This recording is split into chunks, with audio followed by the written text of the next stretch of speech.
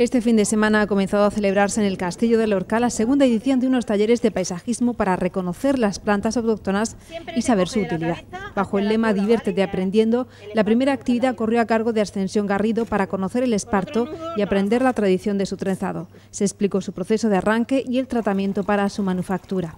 El próximo taller tendrá lugar el sábado 15 de mayo y lleva por título Reconocimiento botánico de las plantas de la Fortaleza del Sol.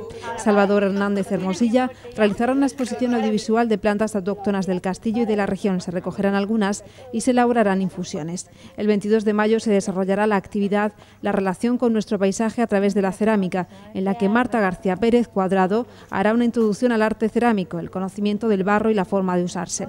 Se realizarán piezas en las que cada participante reflejará su punto de vista sobre nuestro entorno. Luego se creará con todas esas piezas un mural cuyo tema será el desarrollo sostenible.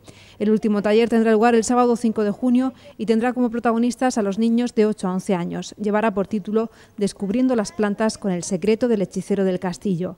Los más pequeños descubrirán el del cofre del hechicero Saoro. Aprenderán jugando y en familia las plantas mediante un reconocimiento por el castillo. Aprenderán los usos de las plantas y realizarán las pócimas mágicas del hechicero.